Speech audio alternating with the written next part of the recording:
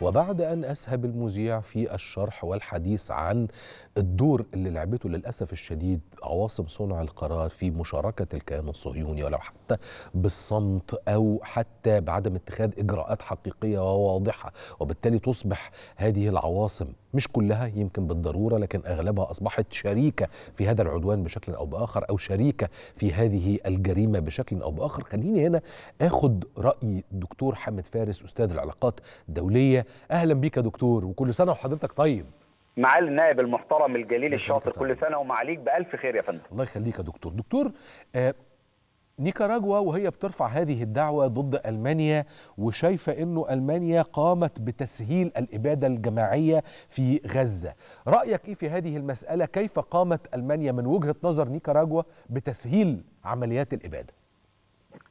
طبعا يعني لابد أن يعلم القاصي والداني أن إسرائيل تحصل على أسلحتها أو أكثر دولتين تعطي أسلحة لإسرائيل هي الولايات المتحدة الأمريكية وألمانيا. الولايات المتحدة الأمريكية تمد إسرائيل بحوالي 69% من الأسلحة التي تحتاجها، ألمانيا بتمد إسرائيل بحوالي 30% من الأسلحة أيضا وبالتالي 99% من.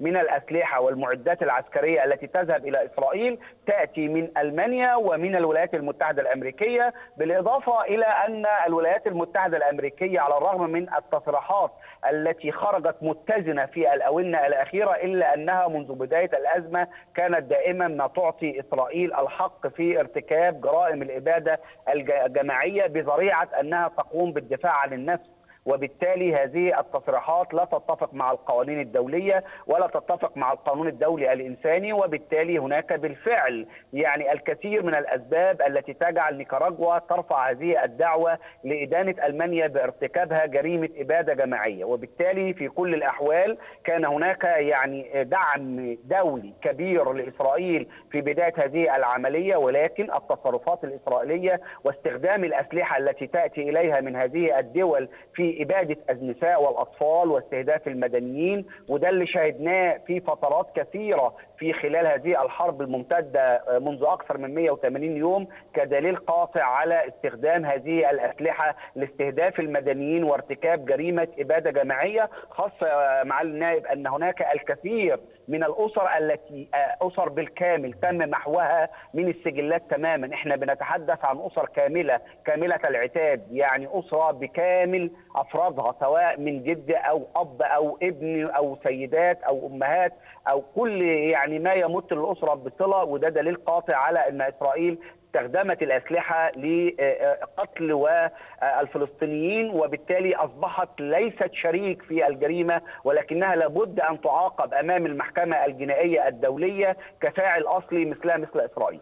طيب دكتور حامد كأستاذ العلاقات الدولية ومحللا سياسيا ترى أنه تصدير الأسلحة إلى هذا الكيان المحتل في ظل ما يقوم به من جرائم من الممكن أن يكون آه، يعني يدفع للإدانة ولا أنه يذهب في إطار اتفاقات دولية ما بين دولتين معترف بهم للأسف الاسئله المعترف بها معترف بهم في الأمم المتحدة ومن أغلب المؤسسات الدولية وأنها اتفاقات وتجارة مشروعة ومعروفة ولا يمكن التراجع عنها. هناك شقين رئيسيين لابد أن نتحدث عنهم، هل ما نشاهده الآن هي حرب بالمعنى حرب عسكرية بالمعنى المفهوم أو بمعنى آه، آه، يعني جيش ضد جيش ولا جريمة إبادة جماعية بيتم استخدام جيش كامل عتاده وسلاحه ضد إبادة المدنيين. وده دليل قاطع على أن تصدير الأسلحة لإسرائيل في مثل هكذا توقيت لاستخدامها ضد إبادة المدنيين ضد قتل المدنيين ضد قتل الأطفال ضد قتل النساء ضد استهداف المنشآت والمستشفيات أو حتى ضد استهداف من يريد الحصول على مساعدات إغاثية التي شاهدنا أن إسرائيل استخدمت السلاح على سبيل المثال في قصف المستشفيات. نحن نتحدث عن 36 مستشفى في قطاع غزة. تم تدمير 24 مستشفى وهدم الباقي. ما تم في مستشفى الأهلي المعمداني بقصف المستشفى. ما تم من استهداف شارع رشيد أو دوار رشيد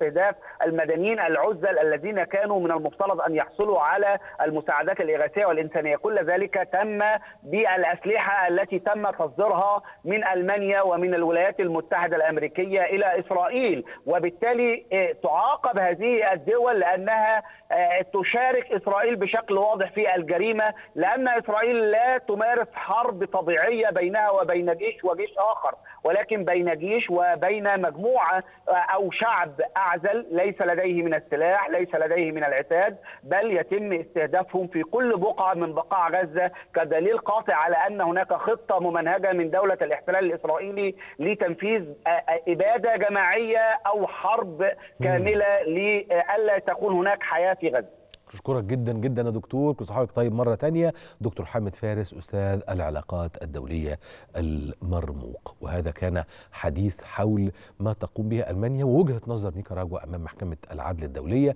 بخصوص هذا الاتهام والمتعلق بالإدانة.